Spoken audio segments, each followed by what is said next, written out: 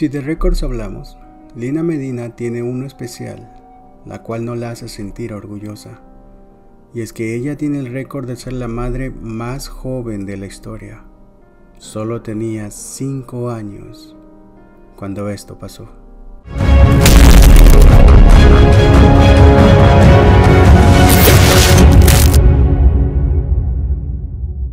Lina Medina nació el 27 de septiembre de 1933 en Antachancha, la región de Huancavelica, Perú. Se podría decir que fue una niña especial, ya que a los dos años y ocho meses comenzó a menstruar, y a los cinco se hizo madre de un niño saludable que llamaría Gerardo. Poco tiempo atrás, mientras su barriga crecía, la gente del lugar decía que ella tenía una culebra en el estómago, que había sido maldecida por el Apu, el espíritu de los Andes. Lina fue sometida a muchos ritos incaicos, pero nada de esto ayudó. Así que su padre, Tiburcio, decidió llevarla con los chamanes para descubrir por qué el vientre de su hija se veía abultado. Creyendo que era un tumor, y por sugerencia de estos chamanes, Lina fue llevada a Pisco, la cual era la ciudad más cercana al pueblo de donde ella vivía. Allí se encontrarían con el doctor Gerardo Lozada, quien al ver el caso decidió derivarlo a Lima, donde por fin especialistas dieron su diagnóstico. Para sorpresa de sus familiares, Lina Medina estaba embarazada. Exactamente el 14 de mayo de 1939, Lina daría a luz a un bebé perfectamente sano y sin ningún problema llamado Gerardo. Gerardo sería criado pensando que era el hermano de Lina. A los 10 años, por fin se enteró que esta era en realidad su mamá. Gerardo tuvo una vida normal y saludable, pero murió a los 40 años.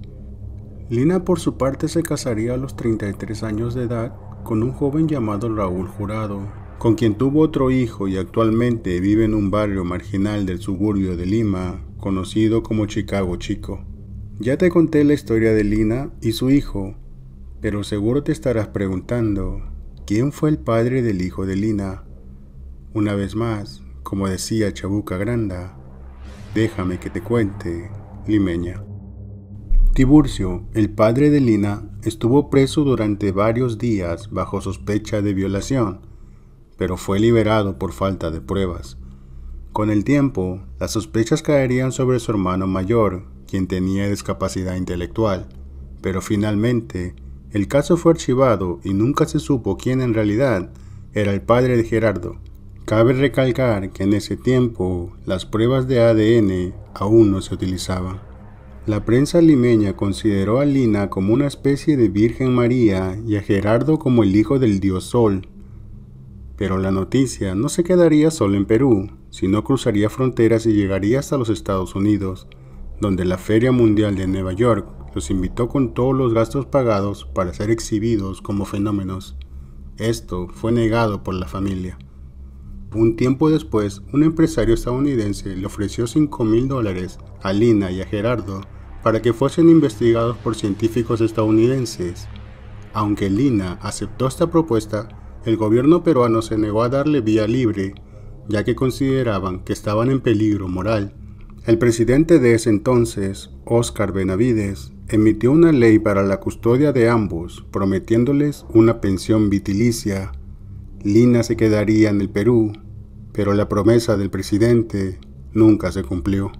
Lina guardó silencio por 67 años, y no fue hasta el 2002 que el diario digital colombiano El País publicó una nota que decía, seis décadas después, el gobierno peruano busca ayudar a Lina como para resarcir la letra muerta de una ley de 1939 que le prometió una pensión vitilicia para ella y su hijo. Por último, el doctor José Sandoval, quien escribió un libro acerca de esta historia, dijo, aún estamos a tiempo de reparar el daño que le hizo el Estado condenándola a la miseria. Si la historia te gustó, no te olvides de dejar un pulgar arriba. Suscríbete al canal si así lo deseas. Yo soy tu Togo. Buenas noches.